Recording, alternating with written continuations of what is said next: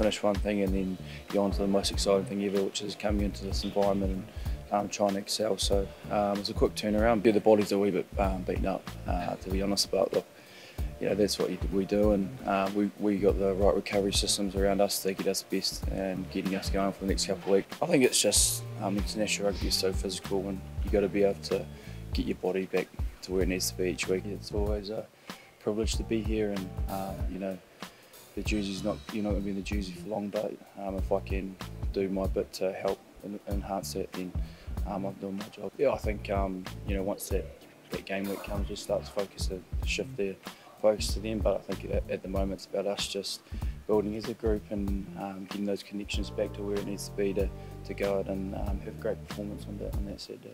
Cool, thanks. Um, yeah, it's always been surreal, sort of a bit starstruck at first, um, but then you start settling in by the warmth and I guess open arm of the boys and, and I'm just you know, really excited to be here and truly grateful and just really get into my work. So yeah, I think it's a whole lot of excitement for me to be here.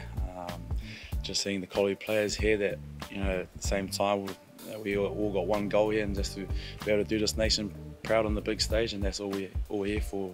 Like I like, I'm a player that, you know, always tries showcasing every area in my game. And for me, I think that just really opens up a better option for the coaches staff to have a player that can cover both the midfield and outside and really talk to them too much more mum and dad I think. You know they're probably the proudest out of everyone in the Fainga'anuku family. Um, like you said, as a parent, you know, you've got one son representing representing the place where we've come from, and you've got one that's representing a nation that's, you know, given us the opportunity to do what we do. And I think for us as a family, you know, we're truly grateful and thankful. I can just think back to when I was um, like that as well. You know, he's he's excited and mate, he's just awesome talent, and I'm looking forward to seeing what he can do and how much he can go and learn in this group. And um, you know, he's only going to get better as well.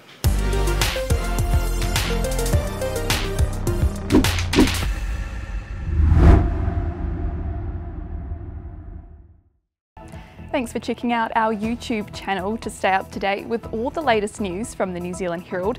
Click the subscribe button below or check out one of the videos here and head over to nzherald.co.nz for more details on these stories and more.